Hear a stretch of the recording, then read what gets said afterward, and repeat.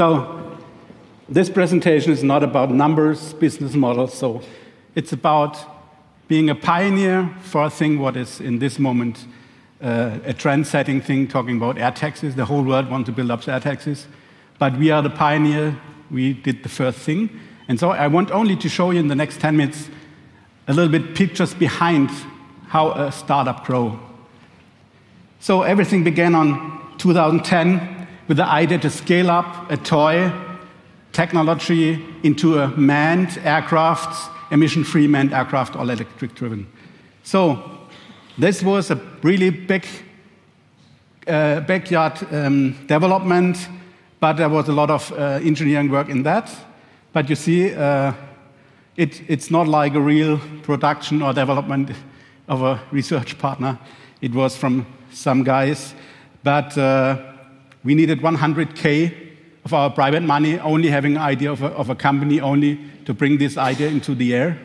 And so in 2011, uh, we made the world's first all electric manned takeoff with a vertical aircraft. So, on this video, we have more than 40 million clicks on YouTube in this moment.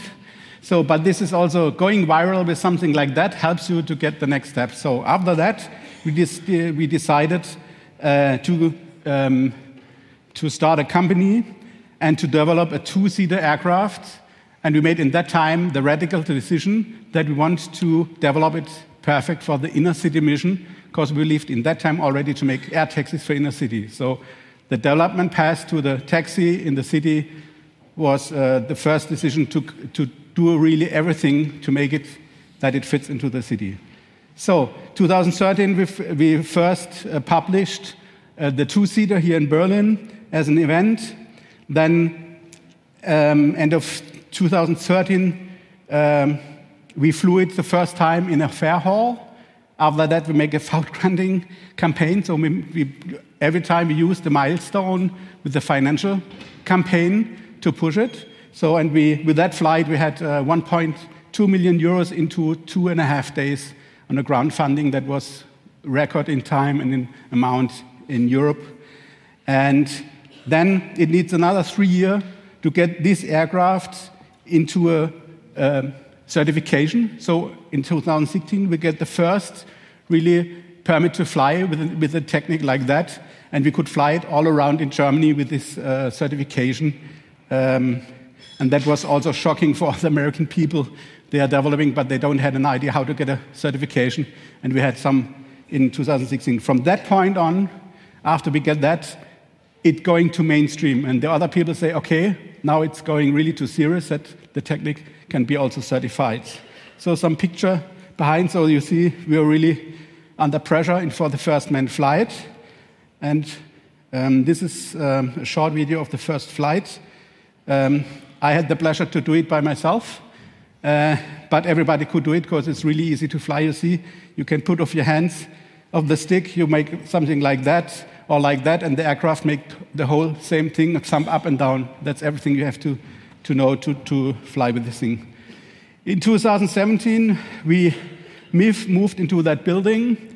Um, we um, started with the upper floor with nine people. and now we conquered the whole building, and uh, beginning last year we were 15 people. Now we, were, we are more than 115 at that uh, location. Beside that, it's just some meters far away. There's the airfield, and there we have the production plant of the pre-series we are producing in this moment. And so this is the next model we developed also in 2017. And then, also in 2017, we moved to Dubai. So to bring a first fully autonomous aircraft into an inner city. And then, so we put out the pilot we put a lot of uh, um, autonomous system in it. We tested three months in the desert, really hard climates. And uh, then we go to a show location in the urban space, having some test flight early in the morning, then nobody makes some pictures. And then was a big day when the Sheikh of Dubai came and to push a button for a fully autonomous flight through the city of Dubai. And the flight lasted around nine minutes.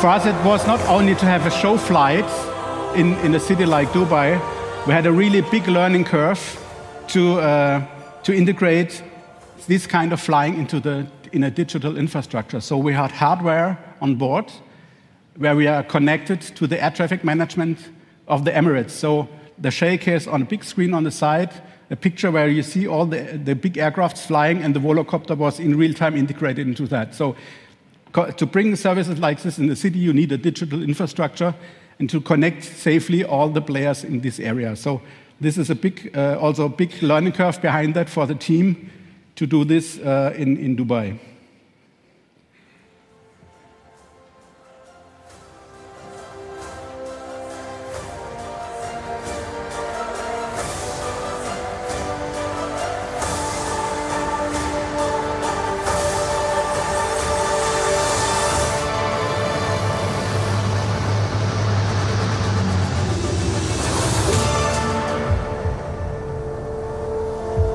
So and when the Sheikh and his team left, um, for sure we as a team pushed also the button.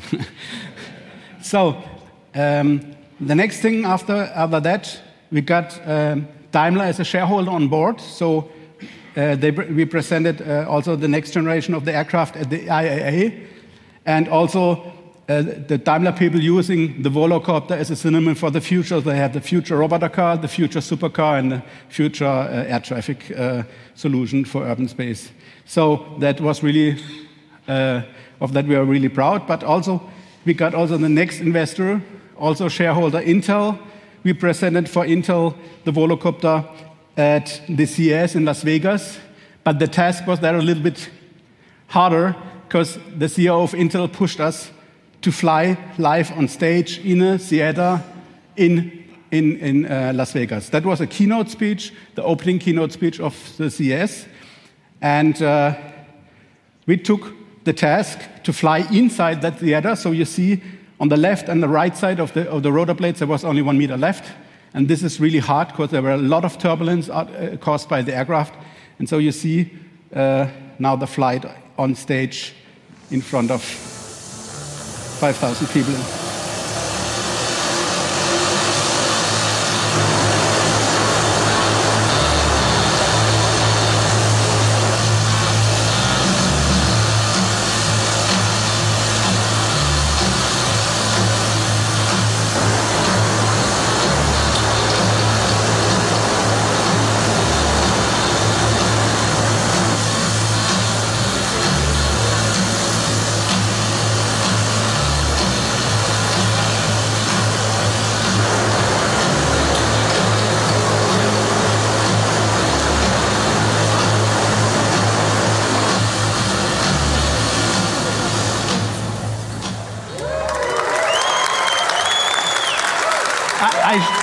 I shot this movie with my phone, and, but I had really, it was really hard and pressure. If there something happens, the company would crash down. So it was really, uh, but we worked hard to make it safe. So the next step was, uh, is uh, beginning this year, uh, we opened our office in Singapore and hired people there in Singapore.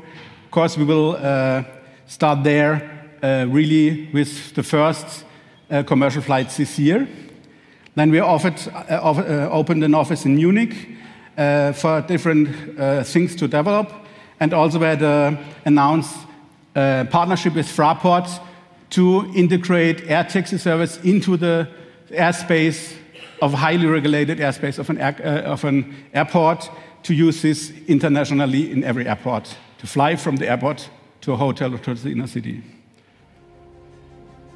As true pioneers, we are already finding answers, together with our ecosystem network of partners. We are proud having established partnerships with Daimler, Intel, Frankfurt Airport, and cities like Singapore and Dubai. The first cities are ready to implement our air taxis soon. They know that the future of mobility is here now. Let's shape it together.